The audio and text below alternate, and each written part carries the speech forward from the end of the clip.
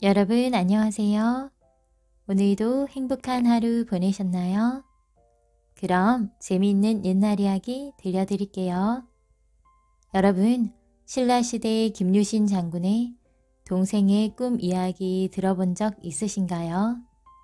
김유신 장군의 여동생인 보희가 꿈을 꾸게 됩니다. 그래서 이 꿈을 문이라고 하는 여동생이 사게 되는데요. 꿈을 사면서 어떤 일이 펼쳐질지 궁금하지 않나요?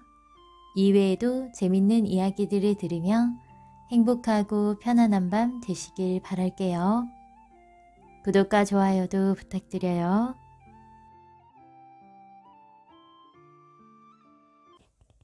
언니의 꿈을 산 왕비 신라시대의 유명한 장군이었던 김유신에게는 보희와 문이라고 하는 두 명의 누이 동생이 있었습니다.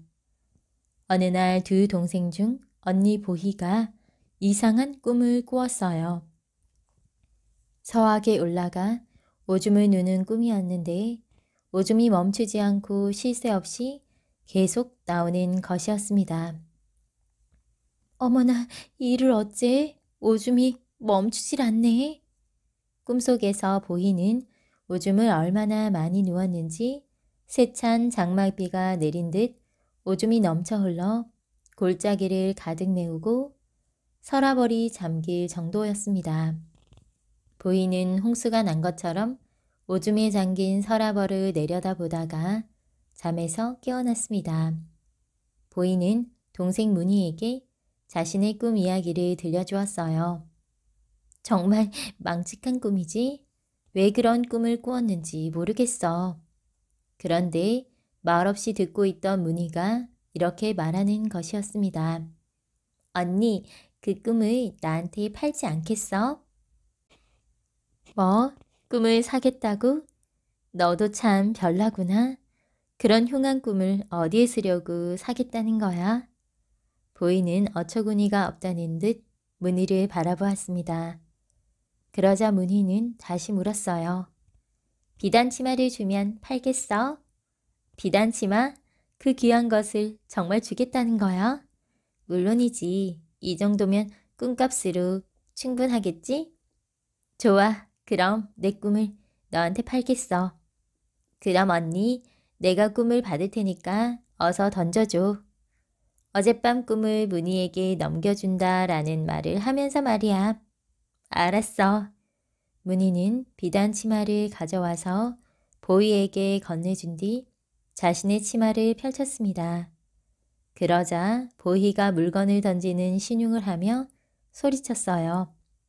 어젯밤 꿈을 문희에게 넘겨준다. 이제 됐어. 고마워. 문희는 만족스러운 듯 빙긋이 웃었습니다. 두 자매가 꿈을 사고 판 지 열흘이 지난 어느 날이었어요. 김유신의 집에 김춘추가 놀러 왔다가 앞마당에서 함께 축국을 하게 되었습니다. 그런데 놀이를 하는 도중에 김유신이 김춘추의 옷고름을 밟는 바람에 김춘추의 옷고름이 찢어져 버렸습니다. 미안하네. 누이 동생에게 부탁해서 옷고름을 꿰매주겠네. 김유신은 김춘추를 데리고 집 안으로 들어갔어요. 보이야, 이 친구의 옷고름을 좀 꿰매다오. 김유신이 보이를 불러 이렇게 청하자 보이는 얼굴을 붉히며 말했습니다. 저는 못하겠어요. 아무리 오빠의 친구라지만 어떻게 남자 앞에서 바느질을? 보이가 도망치듯 가버리자 김유신은 이번에는 문희를 불러 바느질을 부탁했습니다. 문희는 언니와는 달리 순수히 김춘추의 옷고름을 꿰매 주었습니다.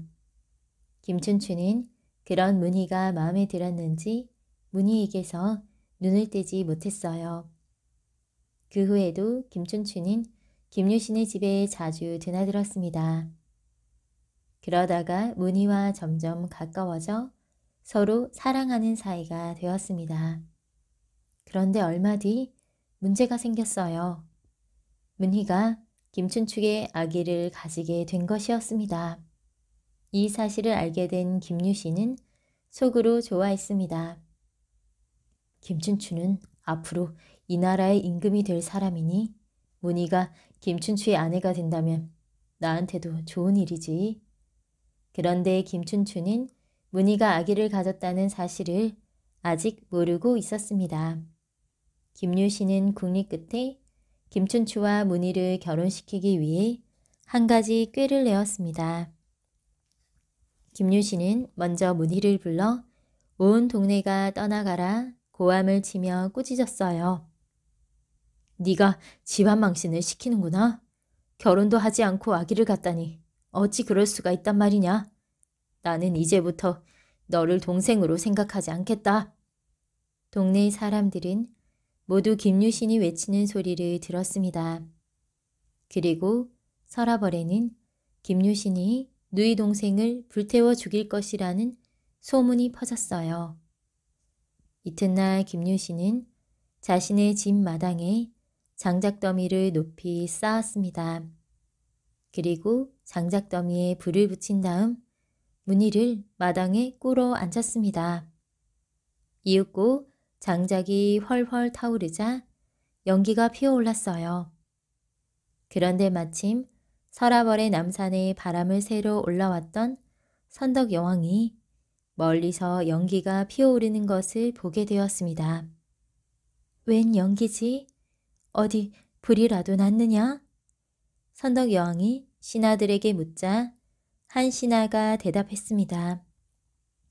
김유신이 누이 동생을 불태워 죽이려고 집 마당에서 불을 피우고 있나 봅니다. 뭐, 뭐라고? 선덕 여왕은 깜짝 놀랐습니다.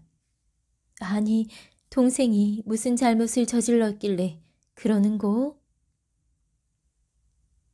예, 결혼도 하지 않고 아기를 가져서 집안 망신을 시켰다고.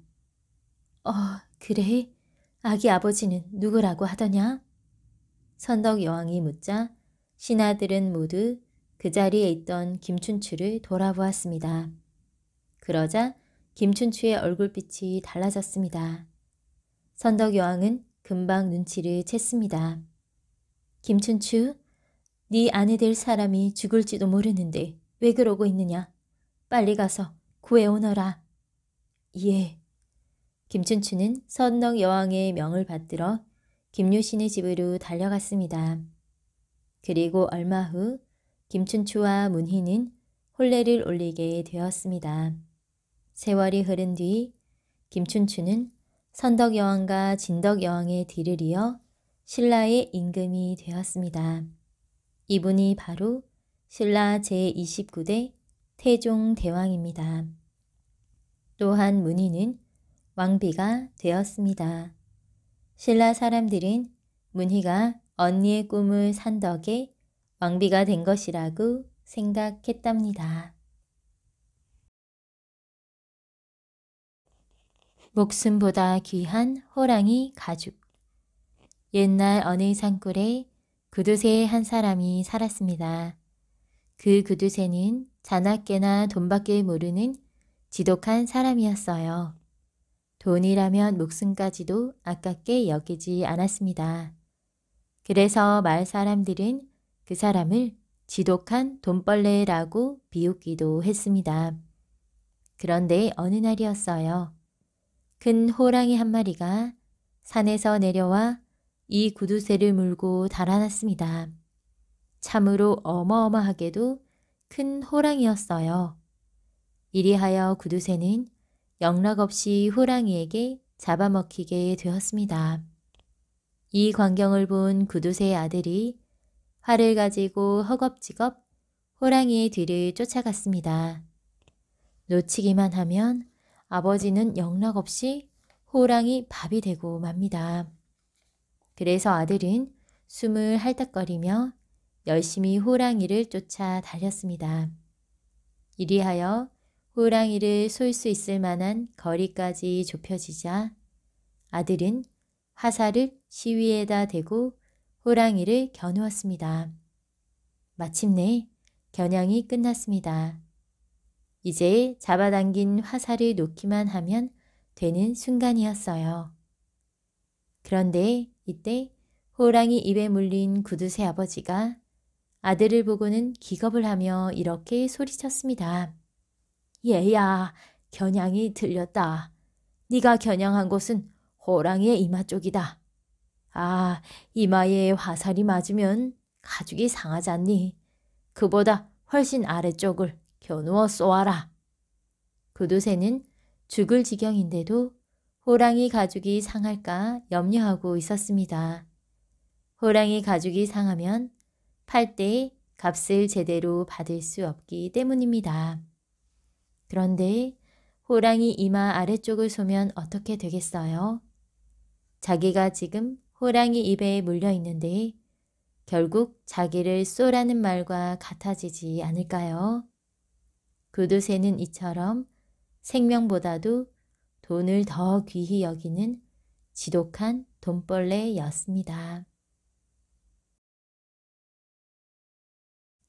아들의 재치 옛날에 어떤 색시가 결혼한 첫날 밤에 신랑 앞에서 그만 방귀를 뀌었어요.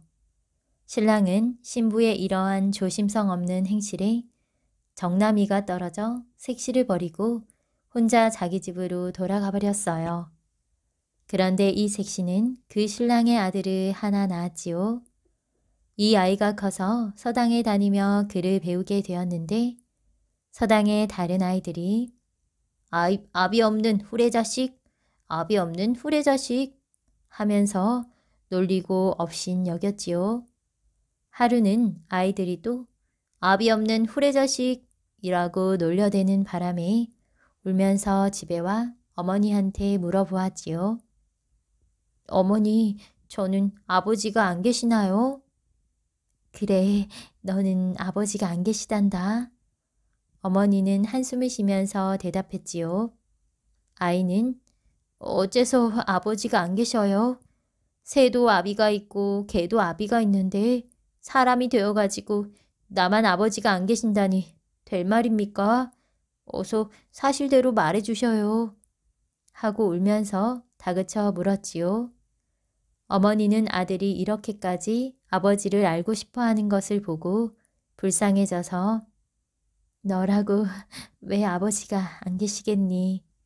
너도 아버지가 계시단다. 하고 말했지요.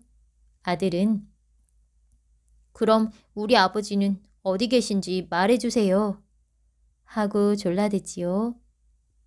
저 먼데 계신단다. 먼데라니요? 어디요? 그런데 어째서 아버지는 여기에 한 번도 안 오시지요? 아들은 또 이렇게 물었어요. 어머니는 그럴 일이 있어서 안 오신단다. 하면서 또다시 한숨을 쉬었지요. 무슨 일이 있어서 안 오셔요? 아들은 또 물었어요. 어머니는 내가 시집 가던 첫날 밤에 그만 실수로 방귀를 한번 낀 것이 네 아버지 비위에 거슬려서 나를 버리고 가신 뒤로는 영영 다시 오시지 않는단다. 네 아버지는 지금 아무데 고을에서 원님으로 계시다는데 라고 말했지요. 아들은 어머니한테 아버지의 말을 다 듣고 나서는 그날부터 서당에도 가지 않고 버드나무를 오이시처럼 정성껏 깎아서 한 말쯤 만들었지요. 그리고 그것을 자루에다 넣어 짊어지고 아버지가 원님으로 계시다는 곳으로 찾아갔지요. 그리고 원님의 집 대문 앞을 왔다 갔다 하면서 아침에 심어서 저녁 때 따먹는 오이시 사시오. 아침에 심어서 저녁 때 따먹는 오이시 사시오. 라고 큰 소리로 외쳤지요. 원님이 가만히 들으니까 아침에 심어서 저녁 때 따먹는 오이시사라고 하는 소리가 들리거든요. 세상에 그런 신기한 일이 어디 있겠느냐 싶어 한번 알아보려고 하인을 시켜서 오이시 장수를 안으로 불러들이게 했지요. 오이시 장수가 들어오니까 원님은 정말로 그 오이시가 아침에 심어서 저녁 때 따먹는 오이씨냐? 하고 물었지요. 아이는 예, 그렇습니다. 이 오이씨는 아침에 심어서 저녁 때 따먹을 수 있는 오이씨입니다. 라고 대답했지요. 음, 그래. 만일 네 말대로 이 오이씨를 아침에 심어서 저녁 때 못 따먹게 되면 너는 죽을 줄 알아야 한다. 라고 원님이 말했어요. 예, 그러겠습니다. 그런데 거기에는 한 가지 말씀드려야 할 일이 있습니다. 이 오이씨는 세상에 신기한 오이씨라서 보통 사람이 심어서는 안 되고 방귀를 한 번도 끼워보지 않은 사람이 심어야 그렇게 되는 것입니다. 아이가 이렇게 말하니까 원님은 세상에 방귀를 한 번도 안 끼워본 사람이 어디에 있느냐? 너는 당치도 않는 말을 하는구나. 하며 꾸짖었어요. 그러자 아이는 그러한 줄을 다 아시면서 원님께서는 새색시가 첫날 밤에 방귀를 끼웠다고 소박하셨습니까? 하고 시치미를 떼고 말했지요. 원님이 아이의 말을 듣고 생각나는 일이 있어 아이를 가까이 불러 자세히 알아보니 분명히 자기 아들이었어요. 원님은 자기가 어려서 철없이 아내를 소박한 잘못을 뉘우치고 아이의 어머니를 불러들여 아이와 같이 살게 되었어요. 아들을 잘 두면 부모의 어려운 일이나 억울한 일이나 모든 불행을 다 잘 풀게 된다는 이야기지요. 그럴듯한 꾀를 냈지만 옛날 어떤 곳에 세 아이가 있었는데 그중한 아이는 머리에 부스럼이 많이 나서 가려우니까 늘 머리를 긁어대고 한 아이는 코를 많이 흘려서 코닦기에 겨를이 없고 또 한 아이는 눈병이 나서 파리가 자꾸 달라붙어 그걸 쫓느라고 애를 먹었어요.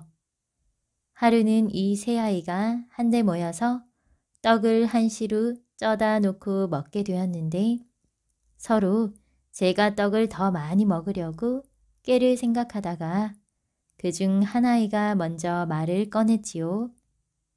우리가 이 떡을 조금씩 나누어 먹을 것이 아니라 한 사람이 시루째 실컷 먹도록 하는 게 어떠냐? 그러자 다른 아이들도 그거 좋겠다고 찬성했지요. 그럼 누가 혼자 시루째 차지해서 먹는 거 하니 내기를 해서 이긴 사람이 먹기로 하자. 라고 말하니까 다른 아이들도 그거 좋다 하고 또 찬성했지요. 그래서 내기를 하기로 했는데 무슨 예, 내기나 하면 머리에 부스럼 난 아이는 머리 안 긁기, 코 흘리는 아이는 코 안 닦기, 눈병 난 아이는 팔이 안 쫓기 이렇게 해서 누가 오래 참고 견디느냐를 내게 하기로 했지요. 세 아이는 서로 제가 내기에 이겨서 떡을 시루째 차지하려고 머리가 가려운 것도 코가 흐르는 것도 파리가 성화되는 것도 꾹 참고 버티고 있었지요.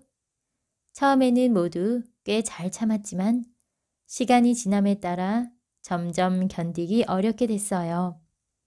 머리에 부스럼이 난 아이는 긁고 싶어 손이 머리로 곧 올라가려 하고 코 올리는 아이는 코를 닦으려고 손이 코로 가려고 하고 눈병이 난 아이는 파리를 쫓으려고 손이 자꾸만 눈으로 가려고 했지요. 그래도 마음을 단단히 먹고 참고 견뎠지요. 그런데 머리에 부스럼이 난 아이는 가려워서 도무지 견딜 수가 없었어요. 그래서 눈치 안 채게 머리를 슬쩍 긁어볼 깨를 하나 생각해 가지고 얘들아 심심하니 내가 이야기 하나 할게. 내가 말이야 요전에 저 건너 앞산에 갔더니 큰 사슴 한 마리가 뛰어 달아나는데 아 보니까 그놈의 뿔이 여기에도 나고 여기에도 나고 또 여기에도 나고 하면서 머리 가운데를 골라서 주먹으로 툭툭 치거든요. 이것을 본 코울리게가 그놈의 사슴을 내가 봤더라면 이렇게 탕 하고 총을 쏠 것을 하면서 소매자락을 코 밑으로 쓱 스치어 코를 닦아버렸지요. 눈병을 앓는 아이가 두 아이들이 하는 꼴을 보고 아이고 얘들아 너희들 거짓말 작작해라. 그런 거짓말 듣기 싫다. 듣기 싫어. 하면서 눈앞에다 손을 대고 내저으며 고개를 살살 흔들어 파리를 다 쫓았지요. 일이 이렇게 됐으니 누가 내기에 이기고 누가 그 떡을 다 차지했을까요? 꾀돌이 옛날 어떤 서당에서 선생님이 아이들의 재치를 시험해 보려고 하루는 아이들을 모아놓고 너희들 중에서 누구든지 나를 방 밖으로 나가게 하면 상금을 줄 테니 어디 한번 나를 방 밖으로 나가게 해봐라. 했지요. 그러니까 아이들은 제각기 선생님을 방 밖으로 나가게 하려고 별소리를 다 하였어요. 어떤 아이는 선생님, 선생님 댁에 불이 났어요. 하는가 하면 어떤 아이는 누가 선생님을 찾아왔어요. 하고 또 어떤 아이는 밖에 나갔다가 들어오면서 잔치집에서 술을 자시러 오라고 사람이 왔다고도 했지요. 그래도 선생님은 꼼짝도 하지 않고 가만히 앉아 있었어요. 그런데 한 아이는 아무 말도 하지 않고 있었지요. 그래서 선생님은 이 아이를 보고 너는 왜 아무 말도 않고 있니? 하고 물었지요. 그러니까 이 아이는 저는 선생님을 방 밖으로 나가시게 하는 재주가 없어서 그래요. 그런데 선생님이 방 밖에 계시면 들어오시게 할 수는 있습니다. 라고 말했지요. 선생님은 그 말을 듣고 방 안에서 방 밖으로 나가게 하는 거나 방 밖에서 방 안으로 들어오게 하는 거나 마찬가지일 것 같아서 그래 내가 방 밖에 있으면 방 안으로 들어오게 한단 말이지. 방 안에서 방 밖으로 나가게 하는 거나 방 밖에서 방 안으로 들어오게 하는 거나 마찬가지니 그럼 방 안으로 나를 들어오게 해봐라 하면서 방 밖으로 나갔지요. 그러자 이 아이는 선생님 분명히 방 밖으로 나가셨지요? 상금은 제가 타게 됐습니다. 라고 했어요. 선생님은 아 뿔싸 내가 저놈한테 꼼짝없이 속았구나. 하고 생각했지만 밖으로 나가버렸으니 할 수 없었답니다.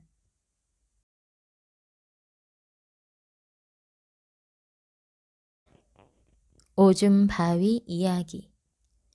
옛날 어느 해에 충청남도 서산구울에 음암면 부산리에 가뭄이 심하게 들었습니다. 마을에는 몇 달 동안이나 비가 내리지 않아 농가 밭에 있는 농작물이 모두 시들 정도였어요. 그래서 부산리 마을 사람들은 모이기만 하면 하늘을 쳐다보며 긴 한숨을 내쉬었습니다. 하느님도 정말 무심하시지. 왜 몇 달 동안 비 한 방울 내려주시지 않는 거야? 그러게 말이야. 올해 농사는 완전히 망쳤어. 우리 집 논에는 벼가 모두 말라버렸다네. 우리 집도 마찬가지라네. 거둬들일 곡식이 없으니 이제 곧 굶어 죽게 생겼어. 굶어 죽기 전에 목이 말라서 죽을지도 모르겠어. 우물이 모두 말라서 이제는 마실 물도 없지 않나. 마을 사람들은 비를 내리게 해달라고 그동안 여러 번 제사를 지냈습니다. 소와 돼지를 잡아 정성스레 제사상을 올렸지만 하늘은 여전히 햇빛만 쨍쨍했습니다. 그러던 어느 날 마을에서 가장 나이가 많은 할아버지가 잠을 자다가 이상한 꿈을 꾸었습니다. 수염을 길게 기른 노인이 지팡이를 짚고 나타나 방 안에 누워있는 할아버지를 흔들어 깨우는 꿈이었습니다. 그만 자고 일어나시오. 그러자 할아버지가 놀라서 소리쳤습니다. 누, 누구시오? 나는 이 마을의 앞산을 지키는 산신령이요. 요즘 가뭄 때문에 마을 사람들이 고생을 하는 걸 보고 도와주려고 찾아왔소. 그, 그게 정말이십니까? 감사합니다. 할아버지는 산신령에게 머리를 숙여 절을 했습니다. 지금부터 내가 하는 말을 잘 들으시오. 이 마을 뒷산에 큰 바위가 하나 있지 않소? 뒷산에 있는 바위라면 여인의 모습을 닮은 그 바위 말씀입니까? 그렇소. 내일 아침에 돼지를 한 마리 잡아서 그 바위를 찾아가 제사를 지내도록 하시오. 예, 바위에게 제사를 지낸다고 비가 오겠습니까? 그런 걱정은 하지 말고 내가 시키는 대로만 하시오. 알겠소? 예, 산신령님. 산신령이 사라진 뒤 할아버지는 잠에서 깨어났습니다. 정말 희한한 꿈이네. 산신령님도 가뭄이 걱정되어 꿈속에 나타나셨나 보군. 아무튼 비만 오게 된다면야 무슨 짓은들 못하겠어. 바위가 아니라 개구리에게라도 제사를 지내야지.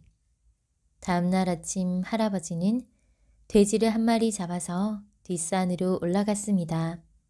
마을 뒷산에는 여인의 모습을 쏙 빼닮은 바위가 하나 있었습니다. 사람의 키보다 몇 배나 더 큰 바위였습니다. 할아버지는 바위 앞에 돼지 머리를 놓고 큰 절을 하며 간절히 빌었습니다. 바위님, 마을에 몇 달째 가뭄이 들어 마을 사람들이 큰 고통을 겪고 있습니다. 저희들을 불쌍하게 여기셔서 제발 비를 내려주십시오. 할아버지는 바위 앞에 엎드려 눈물을 흘리며 빌고 또 빌었습니다. 그런데 할아버지가 제사를 마치고 막 일어섰을 때였습니다. 벼랑간 여인의 모습을 닮은 바위의 아래쪽이 쩍 하고 갈라지더니 물줄기가 콸콸 쏟아져 나오는 것이었습니다. 그런데 자세히 살펴보니 놀랍게도 그것은 물이 아니라 굵은 오줌 줄기였습니다. 세상에 이럴 수가 바위가 오줌을 누다니 바위에서 흘러나온 물줄기는 어느새 산을 타고 마을로 내려와서 냇물처럼 논과 논 사이로 흘러 들어갔습니다. 할아버지는 한달음에 산에 내려와서 마을 사람들에게 이 기쁜 소식을 알렸습니다. 물이다! 논에 물이 흘러 들어온다! 마을 사람들은 모두들 기뻐하며 삽을 들고 달려나와 집집마다 논에 물을 대기 시작했습니다. 그리하여 바위가 눈 오줌 덕분에 부산리 마을 사람들은 가뭄을 면하게 되었습니다. 그리고 다른 마을과는 달리 그 해의 농사는 몇 년 만에 찾아온 풍년이었습니다. 그 뒤부터 부산리 마을은 가뭄이 들어 비가 오지 않아도 걱정 없이 지내게 되었습니다. 해마다 가뭄이 들 때쯤이면 뒷산의 바위 밑에서 물이 콸콸 쏟아져 나왔기 때문이었습니다. 부산리 마을 사람들은 이 바위를 오줌을 넣은 바위라 하여 오줌바위라고 부르게 되었습니다. 그리고 해마다 봄이 되면 풍년을 기원하며 바위에게 제사를 지냈답니다. 메추리 꼬리가 깡통한 까닭. 배고픈 여우가 먹이를 찾아다니다가 풀숲에서 졸고 있는 메추리를 보았어요. 배가 등에 붙을 판에 너 참 잘 만났다. 살금살금 다가가서 잽싸게 덮쳤지요. 에구머니, 이게 웬 날벼락이람? 메추리가 놀라 쳐다보니 여우란 놈이 코앞에서 군침을 줄줄 흘리고 있거든요. 아이고, 여우님. 시장하신 모양인데 저 같은 거 잡숴봤자 이새에 뼈만 낍니다. 다른 음식은 실컷 잡숫게 해드릴 테니 저를 놓아주십시오. 메추리가 아주 싹싹 빌었어요. 여우가 생각해보니 그도 그럴듯하거든요. 좋다. 하지만 빈말이었다간 당장에 내 뱃속으로 들어갈 줄 알아라. 빈말이라니요. 배가 벌떡 일어나게 해드릴 테니 조금만 기다리십시오. 그때 저쪽 길모퉁이에서 어떤 아주머니가 밥 광주리를 이고 이쪽으로 오고 있지 뭐예요. 자, 여우님은 식사 준비나 하고 계세요. 메추리는 길 한가운데로 가서 일부러 다리를 절룩절룩하며 알짱거렸어요. 그걸 보고 아주머니가 이게 웬 저녁 반찬거리냐? 하면서 허리를 굽혀 잡으려고 했지요. 메추리가 팔짝 뛰어 조금 달아났어요. 그러자 아주머니가 쫓아왔지요. 메추리는 잡힐 듯 하다가 또 조금 달아났어요. 쫓아가면 또 조금 달아나고 또 쫓아가면 또 조금 달아나고 하니까 아주머니가 약이 오르잖아요. 이놈의 메추리가 아예 밥 강주리를 내려놓고 쫓아갔어요. 그러는 사이에 여우가 얼른 나와서 밥 강주리에 담긴 밥을 다 먹어치웠지요. 메추리는 그제야 포르르 날아가 버렸어요. 아주머니는 빈 광주리만 이고 투덜거리며 돌아갔지요. 배가 부르십니까? 메추리가 여우에게 돌아와 말했어요. 그래, 덕분에 실컷 먹었다. 그럼 이제 소화를 시키셔야죠. 저를 따라오십시오. 이번엔 웃은 꼴을 보여드리겠습니다. 웃다 보면 소화가 잘 될 거예요. 메추리가 앞장서서 걸어갔어요. 가다 보니까 저 앞에서 옹기장수 형제가 앞뒤로 나란히 걸어가고 있거든요. 메추리가 포르르 날아 앞선 형의 옹기지게 위에 내려앉았지요. 그걸 보고 뒤따라가던 아우가 이게 웬 안주감이냐? 하면서 손을 뻗어 잡으려 했거든요. 메추리가 폴짝 뛰어 쏙 빠져나갔지요. 잡으려 하면 쏙 빠져나가고 잡으려 하면 쏙 빠져나가고 하니 아우가 약이 오르잖아요. 이놈의 안주감이 지게 작대기를 들어 힘껏 내리쳤지요. 메추리는 포르르 날아가고 옹기만 와장창 박살이 났어요. 그러니 형이 가만히 있겠어요? 아니 이 녀석이 왜내 옹기를 박살내? 너도 한번 당해봐라. 하면서 지게 짝대기로 아우의 옹기를 냅다 후려 갈겼어요. 아우의 옹기도 쟁그랑 뚝딱 박살이 났어요. 아니 메추리가 옹기지게 위에 앉았기에 잡으려다 보니 그렇게 된 건데 그걸 가지고 뭘 그래? 아우는 볼멘 소리를 하며 다시 형의 옹기를 와장창 내리쳤지요. 아니 이 녀석이 제 잘못을 모르고 형은 또 소리를 지르며 아우의 옹기를 쟁그랑 뚝딱 내리쳤어요. 와장창 쟁그랑 뚝딱 한참 그러다 보니 애먼 옹기들만 죄에 박살났지 뭐예요. 여우가 숨어서 그 꼴을 보고는 깔깔깔 낄낄낄 우스워 죽겠대요. 메추리가 여우한테 와서 말했어요. 어때요? 웃을만 하던가요? 여우가 키득거렸지요. 허허허, 우습다 마다. 아유, 배꼽이 다 빠지겠네. 그러자 메추리가 넌지시 물었어요. 그럼 이번에는 아주 화끈하고 눈물이 쏙 빠지는 꼴을 보여드릴까요? 여우는 무슨 소린지도 모르고 좋다고 했지요. 배부르게 먹고 재미난 구경까지 했으니 또 무슨 좋은 일이 생기려나 했지요. 그럼 어서 따라오세요. 메추리가 또 앞장을 섰어요.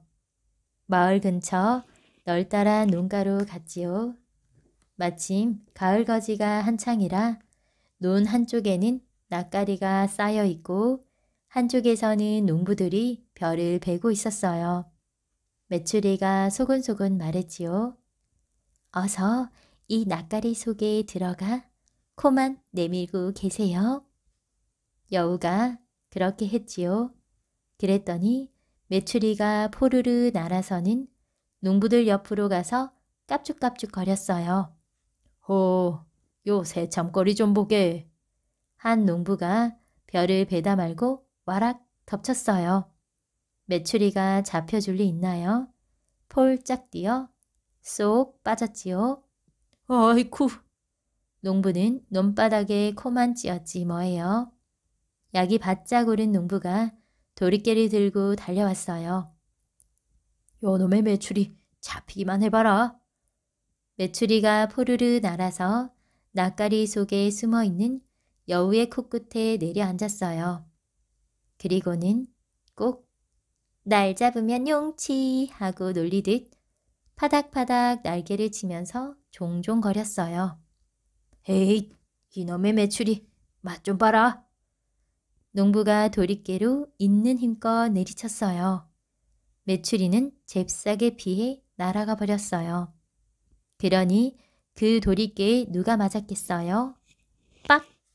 여우 콧잔등에 불이 번쩍 튀었지요. 개갱! 이 여우 살려! 여우는 화끈거리는 코를 감싸시고 죽을 힘을 다해 산으로 달려갔어요.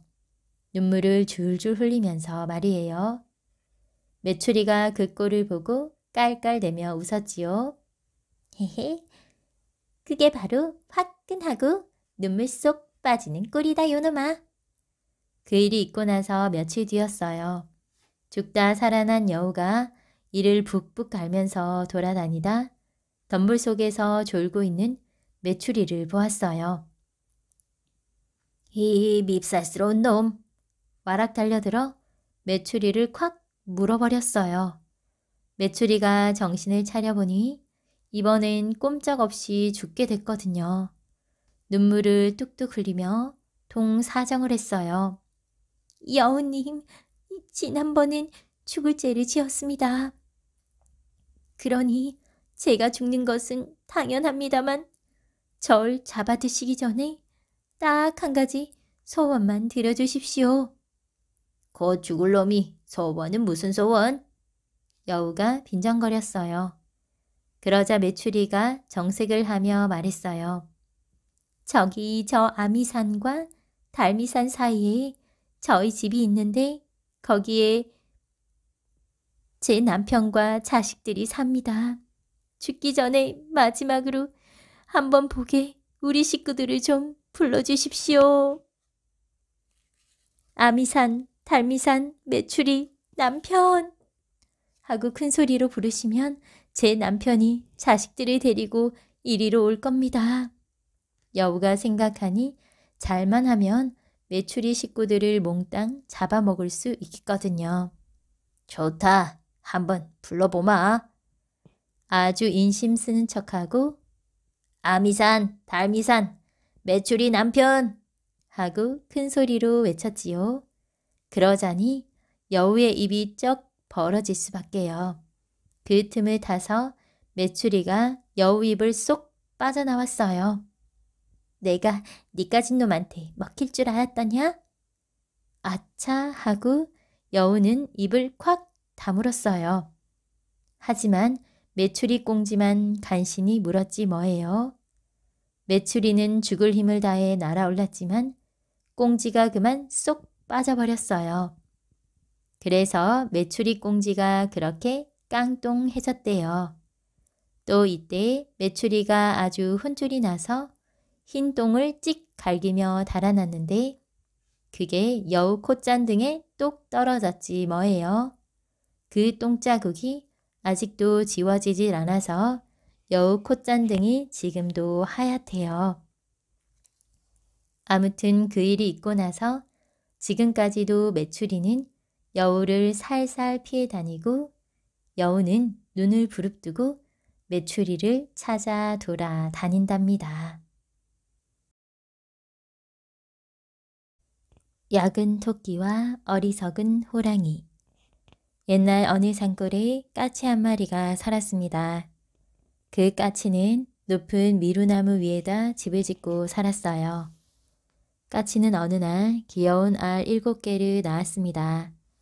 파르스름한 빛깔을 띤 알이 동글동글한 게 아주 귀엽게 생겼어요.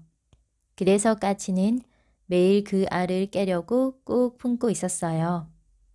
그러던 어느 날이었습니다. 무서운 호랑이 한 마리가 미루나무 밑을 지나다가 알을 품고 있는 까치 그림자를 보고는 나무 위를 올려다 보았습니다. 까치야, 까치야, 너 알을 낳은 게로구나. 어때? 나에게 알을 하나 주려느냐? 아니면 네가 내게 잡아먹히겠느냐? 난 마침 배가 고파 먹이를 찾고 있는 중이야. 큰일 났습니다. 까치는 재수없게 걸렸다고 생각했지요. 하필이면 새끼를 깨려는 참에 무서운 호랑이를 만나다니. 그러나 어쩔 도리가 없었습니다. 까치는 눈물을 흘리며 알 한 개를 호랑이에게 조심스럽게 내려주었습니다. 그러자 호랑이는 그 알을 얼른 맛있게 까먹고는 고맙다는 인사를 남기고 어디론가 가버렸습니다. 이튿날이 되자 호랑이가 또 찾아왔습니다. 가지야, 가지야, 알을 한 개만 더 다오. 그렇지 않으면 나무 위로 올라가서 너와 알을 모두 먹어버릴 테다. 호랑이는 어제보다도 더 큰 소리로 으름장을 놓았습니다. 까치는 정말 호랑이가 나무 위로 올라오면 큰일 날 것 같았습니다. 그래서 별 도리 없이 또 알 한 개를 아래로 내려주었습니다. 그러나 호랑이는 이튿날도 그 이튿날도 찾아와서 알을 빼앗아 먹었습니다. 까치는 벌써 알 다섯 개를 빼앗기고 말았어요. 이리하여 여섯째 되는 날이었습니다. 까치가 내려다보니 토끼 한 마리가 나무 밑을 지나다가 쳐다보고 있었어요. 까치야, 까치야. 너 알을 깨는 모양인데 사랑스러운 새끼가 태어나면 참 좋겠다. 음, 토끼야, 오랜만이로구나. 넌 내가 새끼를 깨니 좋겠다고 그랬지? 하지만 호랑이가 찾아와서 알을 다섯 개나 빼앗아 먹었어. 안 주면 나무 위로 올라와서 나와 남은 알을 다 먹겠다니 어찌 안 주고 배기겠니? 이 소리를 들은 영리한 토끼는 까치를 비웃었습니다. 에구 까치야 넌 정말 어리석구나. 왜 호랑이에게 알을 주니? 저것 봐. 그래 너 같으면 안 주겠니? 나무 위로 올라온다는데도 이 바보야. 호랑이가 그 높은 미루나무 꼭대기까지 어떻게 올라가니? 네가 그놈의 공갈에 넘어갔단 말이야. 아니, 호랑이가 여기까지 못 올라온다고? 그게 정말이니? 까치는 정말 의아스러운 눈초리로 토끼에게 물었습니다. 저런 바보 좀 봐. 나무를 잘 타는 원숭이라면 몰라도 호랑이가 어떻게 거기를 올라가? 설령 거기까지 호랑이가 올라간데도 넌 나무 날두 개를 품속에다 끼고 훅 날아가 버리면 되지 않니? 그러니까 오늘도 호랑이가 와서 알을 달라고 하면 절대로 내려주지 말란 말이야. 그래, 토끼야. 고맙다. 네 말을 듣고 보니 정말 그렇구나. 그것도 모르고 사랑스러운 내 알을 다섯 개나 그놈에게 주었구나. 이젠 어림도 없다. 절대로 내려주지 않겠다. 토끼야, 가르쳐 주어서 정말 고맙다. 토끼가 사라지고 난 한참 뒤에 정말 호랑이가 다시 찾아왔습니다. 어제와 다름없이 천연스럽게 또 알을 달라고 했지요. 그러나 까치는 아까 토끼가 시킨 대로 이제는 주지 않겠다고 딱 거절했습니다. 그러자 호랑이는 화를 벌컥 내면서 미루나무를 타고 오르기 시작했어요. 까치는 토끼의 말이 거짓말인 것 같이 느껴지며 이제 별 수 없이 죽게 되었구나 싶었습니다. 날아서 도망칠 용기마저 없었습니다. 그러나 토끼의 말이 맞았습니다. 끙끙 앓으며 기어오르던 호랑이가 쿵 하며 땅에 떨어지더니 내 다리를 쭉 뻗고 그만 죽어버렸습니다. 이 광경을 본 까치는 이제 마음을 푹 놓았지요. 그리고 토끼에게 정중하게 인사를 해야겠다고 다짐했습니다. 한편 호랑이 집에서는 큰 난리가 났습니다. 먹이를 구하러 나간 친구가 돌아오지 않자 눈이 빠지게 기다리고 있었습니다. 그러나 해가 지고 밤이 되어도 먹이는커녕 친구조차 영 돌아오지 않자 다들 걱정을 했습니다. 혹시 포수에게 잡히지는 않았을까? 아니면 함정이나 덫에 걸려 죽게 되지는 않았을까? 이처럼 온갖 걱정들을 하다가 날이 밝으면 모두 친구를 찾아 나서기로 했습니다. 이리하여 호랑이들은 이튿날 친구를 찾아 헤매고 다니다가 마침내 그 미루나무 아래까지 왔습니다. 그들은 뜻밖에도 죽어 쓰러진 친구를 보고 적잖이 놀랐습니다. 그러다가 호랑이 중 한 마리가 나무 위에 까치에게 물었습니다. 까치야, 까치야, 우리 친구가 왜 죽었니?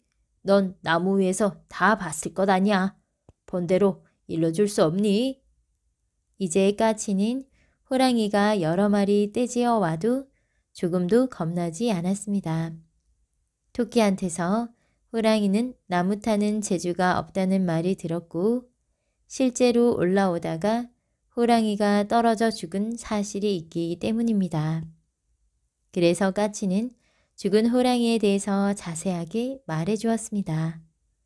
그러나 그 꾀를 토끼가 가르쳐 주더라는 말만은 하지 않았습니다.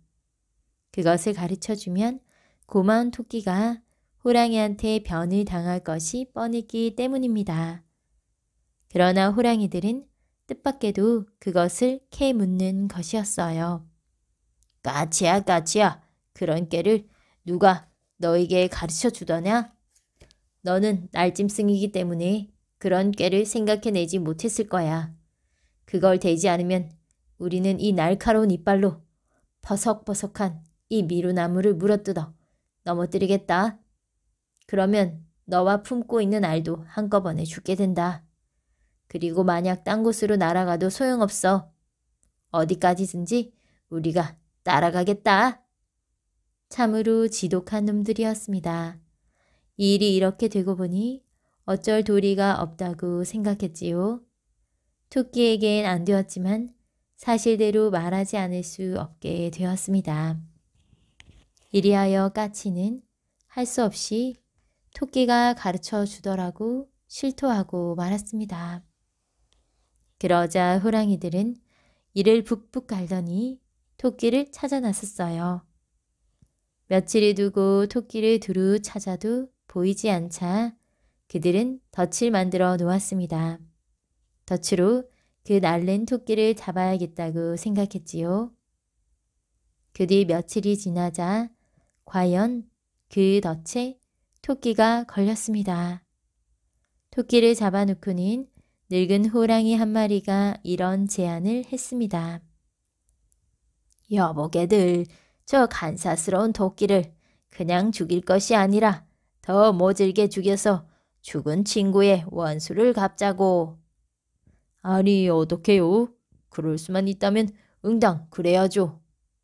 우리 저놈을 잡아다가 가마솥에 넣어서 뜨거운 물로 삶아 죽이자고. 저렇게 편안하게 죽도록 내버려 둘 수야 없지 않은가.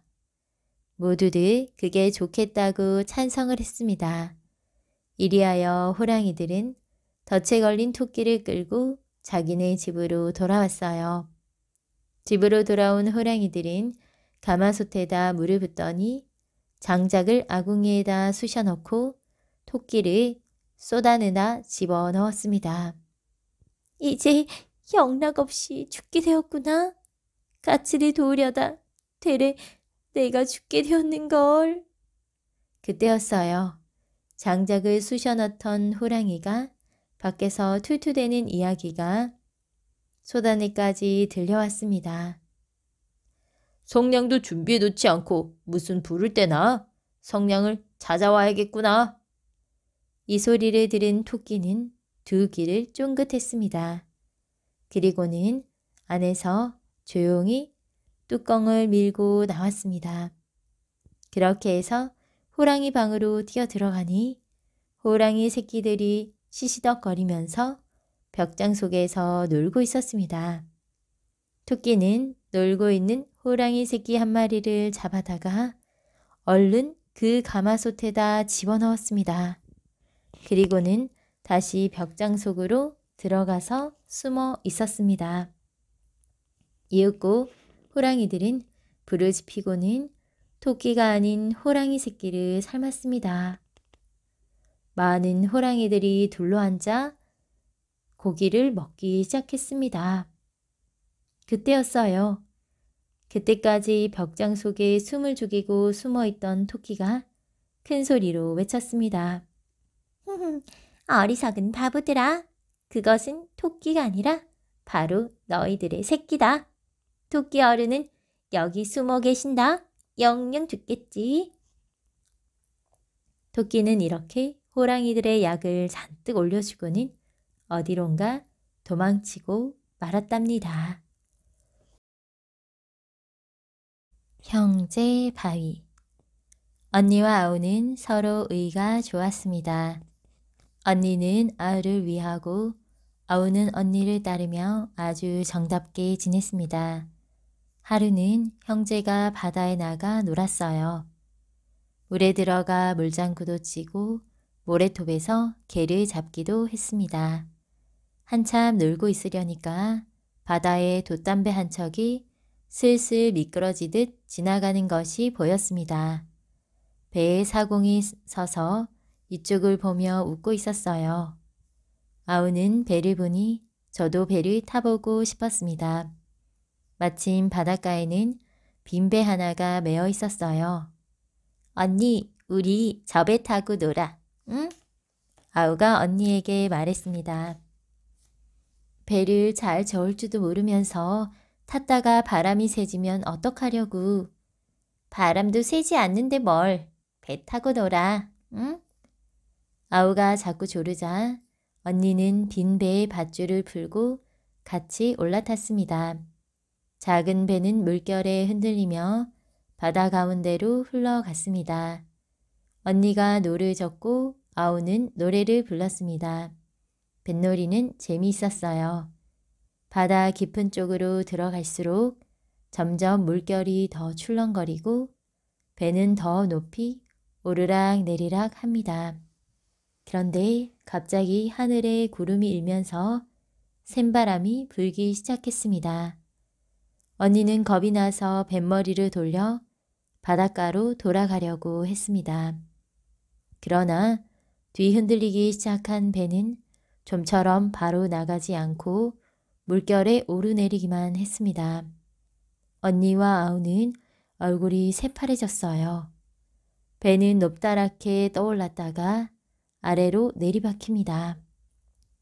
그럴 때마다 두 소녀는 금방 죽을 것만 같았습니다. 아우는 언니를 붙들고 막 울었어요. 이때 엄청나게 큰 물결이 덮치면서 언니를 휩싸갔습니다. 눈 깜짝할 새에 언니는 배에서 바닷속으로 쓸려 들어가 버렸어요. 혼자 남은 아우는 더 큰 소리로 울며 배전에 꽉 붙들어 있다가 정신을 잃었습니다. 한참 동안 물결에 흔들리다가 겨우 정신을 차려보니 바람은 조용해지고 물결도 낮아져서 이제는 살았다는 생각이 들었어요. 그러나 배에는 언니가 없었습니다. 한 번 물에 빠져 흘러간 언니가 배에 있을 리 없었습니다. 언니, 언니! 아우는 소리쳐 불렀어요. 하지만 아무리 불러도 대답하는 사람은 없었습니다. 아우는 저만 살고 언니가 죽은 것을 생각하니 혼자 살아있는 것이 옳지 못한 것 같고 언니를 따라가야만 할 것 같은 생각이 들었습니다. 언니는 처음부터 배 타기를 꺼리고 위험하다고 했는데 제가 졸라서 탄 것을 생각하니 언니에게 큰 죄를 지은 것 같았습니다. 언제나 저에게 정답게 해주던 언니입니다. 그런 고마운 언니를 혼자 물에 빠져 죽게 해놓고 저만 돌아가기가 싫었습니다. 물에 빠진 언니를 따라가야겠다고 생각한 아우는 그만 풍덩 바닷속으로 뛰어들었습니다. 바닷속에 들어가면 언니와 함께 저 세상으로 갈 수 있으리라고 생각한 것입니다. 언니와 아우가 빠진 바다에는 그 후 두 개의 바위가 솟아났습니다. 큰 것은 언니 바위, 작은 것은 아우 바위입니다. 두 바위는 언제나 가까이서 마주보며 이날까지 정답게 서 있다고 합니다.